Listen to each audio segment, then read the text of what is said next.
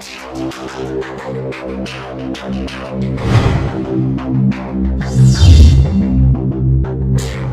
you. Добрый день, дорогие зрители телеканала Улправда ТВ. Меня зовут Дарья Судрева. Сегодня у нас в гостях первый заместитель председателя правительства Екатерина Уба. Екатерина Владимировна, здравствуйте. Здравствуйте. С Новым годом вас. И вас. С наступившим Новым годом. Начало Нового года, время подводить небольшие или большие итоги 2019 года уже. 2019 а, год был ознаменован тем, что началась реализация национальных проектов, в том числе в социальной сфере. Это нацпроект культура, здравоохранение, демократия демография, образование. Вот какие итоги, может быть, небольшие, можно уже подвести работы в прошлом году? Какие, может быть, основные мероприятия проходили? Спасибо большое, что вот в самые первые дни э, наступившего года вы э, на самом главном концентрируете наше внимание. Действительно, самое важное, что произошло в 2019 году, это такое широкомасштабное наступление всех национальных проектов.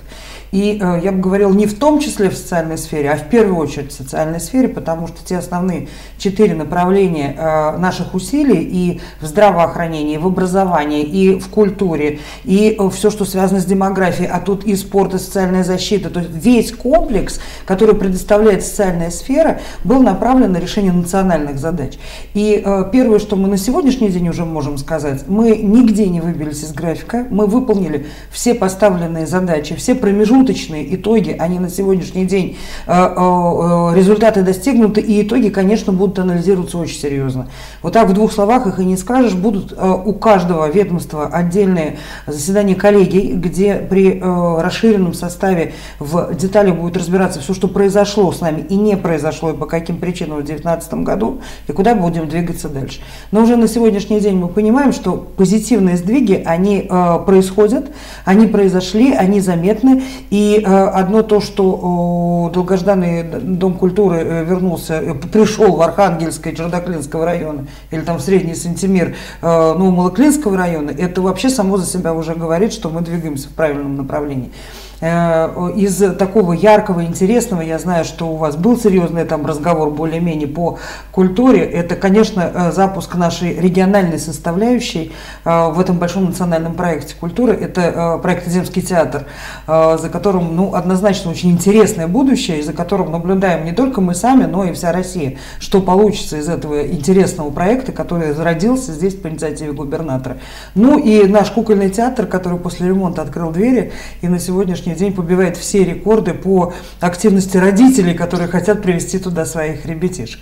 А, в а, остальных направлениях а, здесь очень важно сосредоточиться не только на инфраструктурных изменениях, они безусловно очень ожидаемы. Мы ждем ремонта школ, мы ждем строительства новых детских садов, мы ждем появления новых фельдшерско-акушерских пунктов, мы ждем появления новых спортивных площадок. Но самое главное, здесь за вот этими инфраструктурными очень важными вещами не забыть о изменении содержания. Почему, например, опять-таки возвращаясь к культуре, говорят, ведь не, не важно только поставить там компьютерную технику в модельную библиотеку, важно изменить содержание ее работы. Не так важно отстроить новое здание школы, хотя сами, сами по себе эти стройки сегодня грандиозные.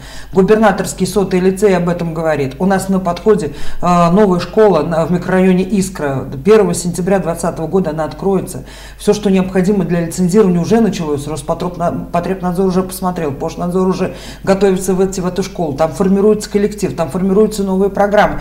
У нас вообще произошли э, э, удивительные вещи. Мы первыми в России э, на э, этаже э, многоэтажного дома, на первом этаже открыли детский сад «Белки-стрелки». И на открытии этого детского сада у нас присутствовал министр просвещения Ольга Васильевна, Ольга Юрьевна Васильева. И э, э, детские сады появляются еще то в одном, то в другом районе, мы продолжаем строить. Но важно не только это. Важно, чтобы в эти школы, в эти детские сады зашли новые методики, зашли новые технологии. Откуда вот, например, в большом национальном проекте образования отдельное направление с точками роста. Это точки развития гуманитарной и технологической сферы. Это там, где ребята могут э, знакомиться с 3D-принтерами, э, с дронами, с э, всяческими, так скажем, программными моделированиями, которые до этого были недоступны школьной программе. Для этого есть техника, для этого есть оборудование, для этого есть есть подготовленные педагоги, потому что самое главное – это начать менять сознание, начать смотреть не только в день завтрашний, а через 5-10 лет вперед. Самое главное – это точно понимать, какие кадры нужны будут нашему региону через 5, 10, 20 и 30 лет. Поэтому очень серьезное направление, которое мы еще в предыдущие годы серьезно начали развивать, это WorkSkills. И то, что ждет наше профессиональное образование, большое переформатирование, вот такая э, заточенность на прогноз рынка труда, на подготовку именно тех кадров, которые нужны нашим э, э, работодателям. Это, конечно, перспектива вот 2020 года. Из таких серьезных вот э, итогов, про которые нам, конечно, нужно будет говорить и осмыслить, это то, что происходит у нас сейчас в здравоохранении. Э, традиционно, ну как-то так вот, к сожалению, сложилось, что это точка наибольшего напряжения, и это понятно, потому что это касается э, не просто всех. каждой семьи, это всех и каждого касается. Я должен быть уверен в завтрашнем дне, соответственно, я должен быть уверен в том, что если у меня случатся проблемы, мне помогут. И здравоохранение в этом смысле это, конечно, ну, основное направление удара. Э, э, пять новых ФАПов появилось, два общие, врача общей практики, порядка 50 э, учреждений или их отделений зашли у нас в ремонт или уже отремонтированы. Но и это тоже не главное. Здесь очень важно все, что касается подготовки кадров. И тут, и там по-прежнему звучат очень серьезные, встревоженные слова о том, что я не могу записаться к узкому специалисту, у меня не получается попасть на прием вовремя тогда, когда нужно. Поэтому все, что касается целевого набора, целевого обучения, конкретной точечной работы с каждым абитуриентом, с повышением квалификации у каждого врача, это то, что останется однозначно в приоритете, то, что мы делали этот год. У нас запущен отдельный проект «Молодое здравоохранение», который, э, ну, по логике вещей должен дойти до молодого каждого специалиста, до молодого каждого врача и понять, где у тебя вот э, перечень тех проблем, которые мешают тебе реализовываться так, как нужно на территории нашего региона. Давай думать, как мы будем вместе это э, с тобой снимать. И все здесь в кон. И для тех, кто едет в сельскую местность, и земский доктор, земская медсестра, земский фельдшер, и те, кто работает здесь здесь э, в э, городе, это, соответственно, постоянное повышение квалификации, постоянная возможность переобучения. Вот для молодых э, педагогов уже в прошлом году порядка 400 человек воспользовались этой возможностью. Была запущена образовательно адаптивная программа по очень важным таким вещам, которые связаны и не только с чисто профессиональными а, навыками а, медицинскими, но связаны и с конфликтологией, и с а, правильным обращением там и со своими коллегами, и с пациентами, и с, а, с многими другими вообще, так скажем, надпрофессиональными вещами, которые помогут тебе комфортно чувствовать себя в той профессии, которую ты выбрал. Наша задача не то, что там не сокращать, не потерять, не потерять ни одного медика для того, чтобы они, собственно говоря, э, давали уверенность жителям нашего э, региона. Ну и очень важно, чтобы у самих э, людей этой очень уважаемой и, собственно, очень, наверное, самой важной профессии, на самом деле, было ощущение, что Э, путь, который они выбрали, он правильный. Поэтому все, что будет продолжаться делаться, и с э, пониманием там, по заработным платам, это федеральный тренд на сегодняшний день, когда мы разбираемся, что, почему, какие оклады, где повысить, как э, выровнять, как сделать так, чтобы баланс держать вот среди больших коллективов больниц.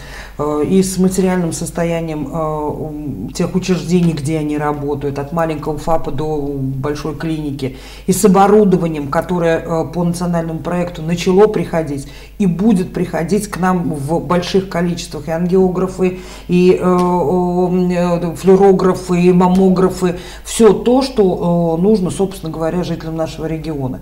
Это большая, серьезная работа. И э, тут самое главное, ну, ни на секунду не, не останавливаться и действовать то четко в графике, э, определенным нам федералами, определенным нам нашим губернатором Сергеем Ивановичем Морозовым. Э, ну и еще из национальных проектов, из серьезных таких Э, достижений, конечно, стоит говорить о серьезной поддержке семьи, которая у нас с этого года пошла и на федеральном уровне. И мы пересматривали возможности капитала семья и его вложения. И любая история, связанная с тем, чтобы семье было, был, в семье был желанным любой ребенок, каждый ребенок, да, вот любая, она, собственно, тоже будет оставаться в центре внимания. И э, все те позиции, которые мы на сегодняшний день здесь взяли по открытию дополнительных мест в детских садах, и по пособиям на э, э, при рождении ребенка, и по э, вот с 1 января у нас и подарок новорожденному появилась новая такая история, которая в каждом роддоме будет осуществляться, и такой, скажем, первый приятный э, жест и знак внимания со стороны э, нас.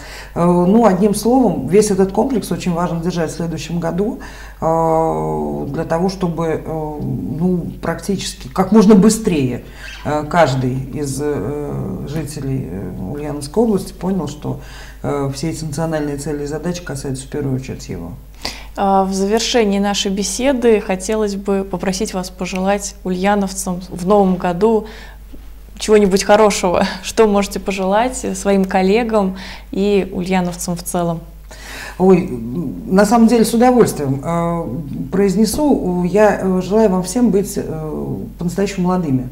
У нас этот год, который только что наступил и начал свой такой серьезный ход, он не просто год, он год молодых, он год э, тех, кто не боится мечтать, не боится дерзать, э, не боится пробовать. На самом деле молодость это не столько возраст, отмеченный в паспорте, сколько состояние души, поэтому я всем желаю пробовать, начинать реализовывать самые заветные свои мечты, приходить со своими инициативами, будем вместе думать, как сделать лучше то, что вокруг нас. Ну и мне кажется, самое важное – Э, уметь оглядываться и видеть э, в первую очередь, кому нужен ты. Тогда ты обязательно найдешь, кому, кто нужен тебе. И э, тогда ты на самом деле поймешь, что такое счастье, что такое человеческое тепло, забота. И чем больше счастливых, заботливых и теплых людей будет на нашей Ульяновской земле, чем счастливее будем мы все. Спасибо большое, Екатерина Владимировна, за добрые слова.